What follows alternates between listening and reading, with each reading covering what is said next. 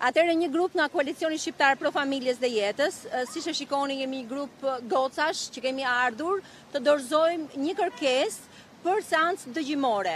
Ju jeni njohur me projektligjin për riprodhimin dhe shëndetin seksual dhe është thënë nga Ministria e Shëndetësisë që ka pasur dëgjesa publike, po në fakt nuk ka pasur asnjë dëgjesë publike deri tani dhe ne kemi ardhur këtu për t'i kërkuar Ministrisë së Shëndetësisë dëgjesë publike për ta konsultuar ligjin që prek për, për opinionin tonë si koalicion shqiptar pro familjes dhe jetës, prek uh, qenien njerëzore në çdo dimension.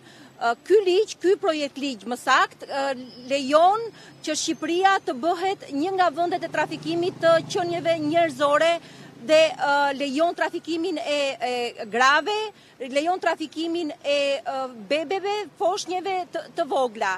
Gjithashtu, ky ligj prek edhe abortin. Ideja është që vajzat e vogla 16 vjeçare lejohet që të abortojnë pa dijeninë e prindërve.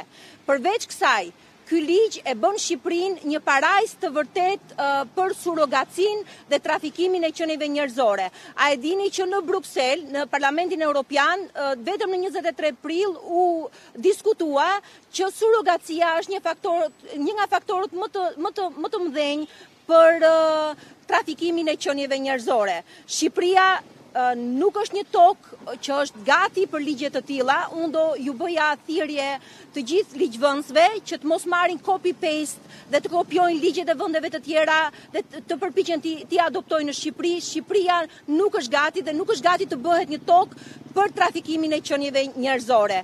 Ky ligj ka shumë shumë cepa që ndoshta nuk është koha për t'i diskutuar në një intervistë kaq të shkurtër, por ne do të donim që të kishim një dëgjesë publike në me, mes specialistëve të Ministrisë së Shëndetësisë dhe një grupi prej pesëdhjetë personash që janë specialistë në fusha të ndryshme që duan të dëgjohet zëri i tyre dhe të shprehen në lidhje me ligjin për surrogacinë dhe abortin. A ka një një afat ju për përcaktimin e kësaj dëgjese, deri kur do prisnit? Deri në datën 12 maj. Ne kemi kërkuar që që seanca dëgjimore të bëhet deri në datën 12 maj.